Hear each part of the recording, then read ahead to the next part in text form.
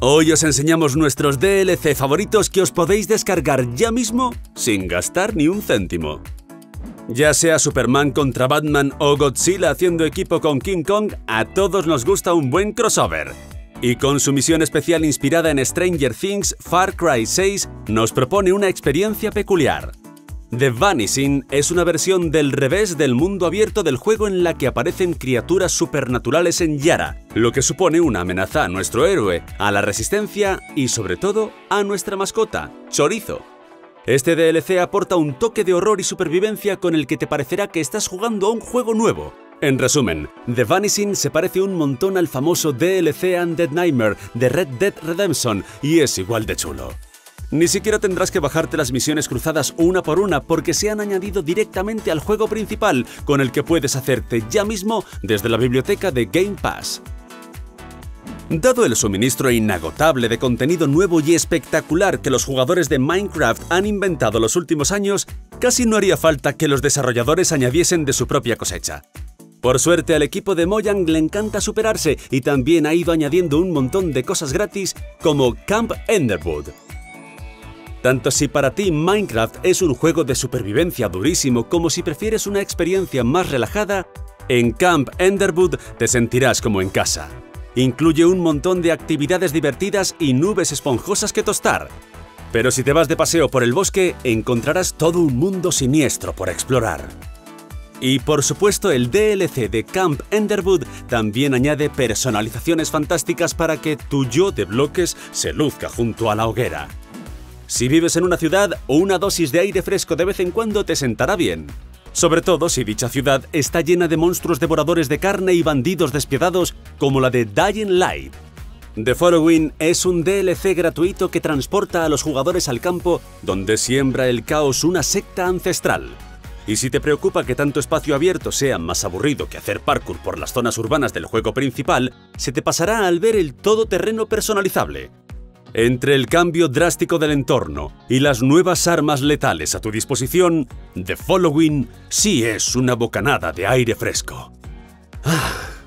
Claro está que un DLC gratuito está muy bien, pero ¿qué te parece un pack entero? Eso sí que es una oferta que no podemos rechazar. El extenso mundo abierto de Mafia 3 ya estaba lleno de trajes elegantes, personajes siniestros y una acción brutal en tercera persona, pero al añadir el paquete de contenido DLC, las cosas se ponen interesantes de verdad. Bombas nucleares, sectas satánicas, cuchillos voladores, policías corruptos, efecto tiempo bala y tres argumentos nuevos que tienen tantos giros, sorpresas e incidentes lamentables como en el juego principal. Es de esos DLC que suben de nivel todo el juego totalmente gratis. Cuando Top Gun Maverick llegó a los cines y nos recordó lo increíbles que son los aviones que van a toda pastilla, no iban a desperdiciar la oportunidad de incluir el ansia de acelerar en el juego de aviones más célebre, Microsoft Flight Simulator. Esta expansión gratuita añade un avión hipersónico capaz de alcanzar velocidad Mach 10 y un montón de desafíos nuevos para determinar si puedes manejarlo. Incluso añade una nueva librea para el FA-18E Super Hornet, que no, no te hará mejor piloto, pero lo petarás lo que no está escrito.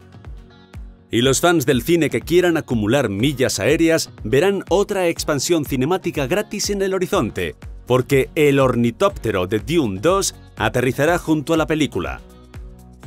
Para no perderte ninguna novedad al respecto, ni tampoco sobre la nueva entrega de Microsoft Flight Simulator, suscríbete y dale a la campanita.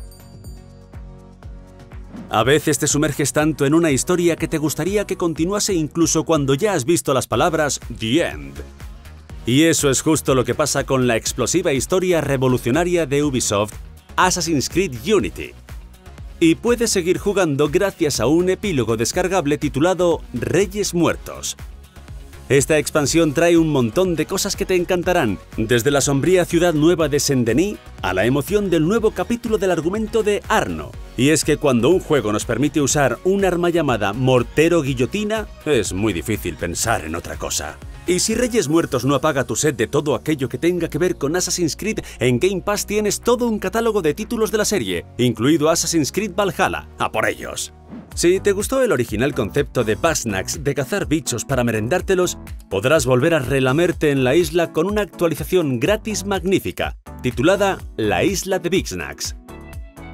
Los jugadores explorarán un bioma entero nuevo, lleno hasta los topes de criaturas desconocidas de aspecto delicioso que capturar, aunque también podrán construir y personalizar su propia casa. Con muebles que se pueden desbloquear superando desafíos concretos, la isla de Big Snacks añade horas de contenido a un juego que ya destacaba en este sentido. No te olvides de que tendrás que completar todas las misiones de Suki y Fortacho antes de poder descargar este DLC. Y sí, Suki y Fortacho son nombres muy graciosos. Acabamos con el toque final perfecto para una historia escalofriante. No soy un héroe de Resident Evil 7 Biohazard.